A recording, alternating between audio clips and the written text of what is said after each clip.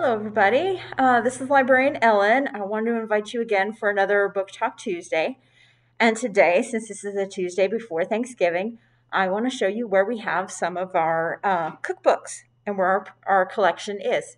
So if you'll come with me, we are standing here at the entrance and I will take you to where the collection is. And I'm going to keep the camera on me so it's not really bouncy and crazy and stuff. So obviously there's the front door. We come on through here and we pass the front desk and we go straight back here. That's our power wall back there. So we go through our audiobooks. We take a little turn and we come into our nonfiction collection. Let me show you this. We got some new signs. So this is the one you're looking for. So right here, starting in this section here, these are all of our cookbooks, recipe books, um, all kinds of different things. And then once again, over here on this side, we got some more of them.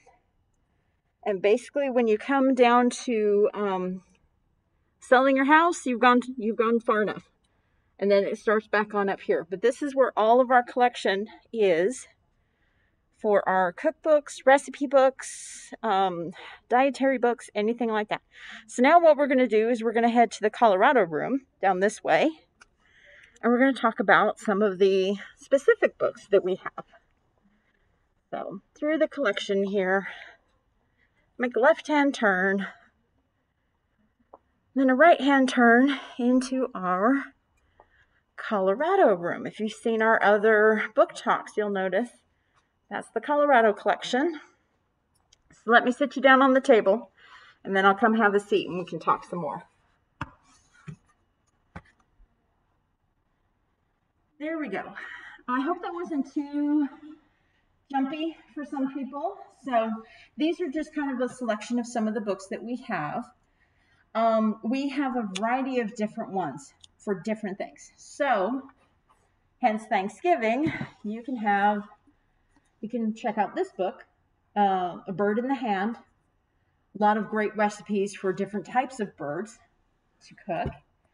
Um, this is our latest book,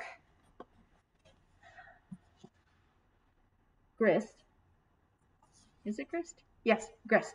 It, it's all about uh, legumes and beans and um, berries and and um, grains and and how to cook them how you know what to do with them you know instead of just the same old same old.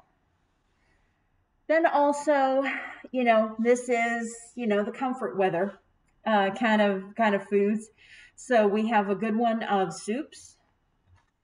And then we also have a specific one on recipes of just colorado so you may want to look into this one and see a little, maybe a little something different. Maybe you want to mix up your, your, you know, your meals or and such like that. Now, oftentimes, you know, throughout people's lives, oftentimes there are certain things that it's just best if they totally avoid. So we have those. Also, uh, people choose um, to either eat more meat or more vegetables or however you want to flip that around. So just to let you know, we do have um, books that are almost strictly vegetarian or vegetables just in and of themselves. But say you have some issues and your doctor wants you to eat healthier. We also have, say, um, healthy heart cookbooks. Um, so great recipes for taking care of your heart. Say you have sensitivity to gluten or you just want to cut out gluten in your diet here we got another um, fabulous cookbook with a lot of um, recipes and how-tos and everything like that. And then, of course, you know, if you've been diagnosed with diabetes, here's a nice little cookbook because, you know, it's that time of the year. We like that comfort food. And so this one is specifically for diabetes and for comfort food. Now, we often get um, really unusual things in the library donated to it. And so I wanted to show you this particular one. Here's this book. So if you'll kind of notice the graphics on the front, this is not a 2020 kind of kind of book. it is specifically for um, evidently this was a advertisement book for a specific kind of alcohol and evidently it was um, a a liquor store down in Greeley. It was um, originally what this tag says. And so going through this, it was quite interesting to see the different um, information that they handed around. And, you know, some of them are like, um, you know, how to make different cocktails. Um, you know, favorite kind of, kind of, because this is for, you know, specifically for alcohol.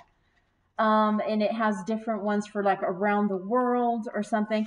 But it was just all kind of really interesting to see, you know, what we do today for parties and what back in 19 let me see let me look on here i believe it's on the front maybe not maybe it was on the back i think it was 1965 or something like that when this came out um, but it's um, yeah it just kind of goes into different parties and different things but it's just really cool to see that it is you know very a date kind of looking thing so this one was really fun to see um, about the different drinks or drinks around the world. So, like I said, we get some really interesting things, but for this holiday season, we do have a variety of books of, of anything that you may want to um, look into.